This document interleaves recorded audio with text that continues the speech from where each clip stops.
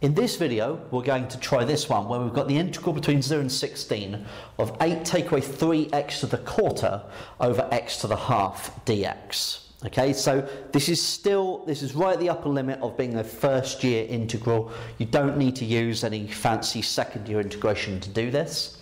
What we're going to do is we are going to divide through this fraction first and split it up into two terms. Okay. So we're just going to write this as, uh, well, let's write it with the limit.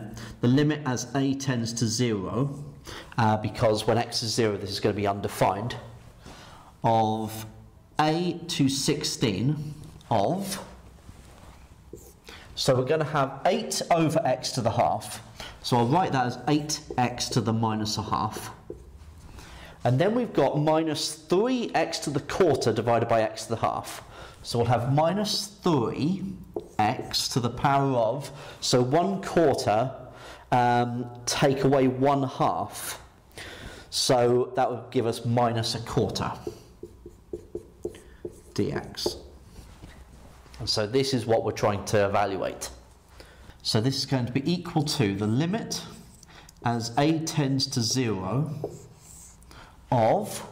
Now, 8x to the minus a half, add 1 to the power, divide by the new power, so we're going to have 16x to the half, so root x. And then take away 3x to the minus a quarter, add 1 to the power, gets you 3 quarters. Divide by 3 quarters is multiplied by 4 thirds, so minus uh, 4x uh, to the 3 quarters evaluated between a and 16.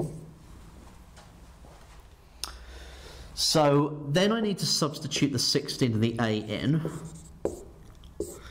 So substituting in the 16, we're going to get 16 lots of 4, which is 64. Substituting the 16 into this, we've got 4 times 16 to the power of 3 quarters. Uh, gets us 32, so take away 32. And take away, substituting the a in now, we get 16 uh, root a, take away 4a to the 3 quarters. And so this is going to get us the limit as a tends to 0. 64 take away 32 is just 32. And we've still got this here, which I'm not going to try and simplify any further. But it leaves us to identify that as a tends to 0, this term, the 16 root a and the 4a to the 3 quarters, both tend to 0 as well.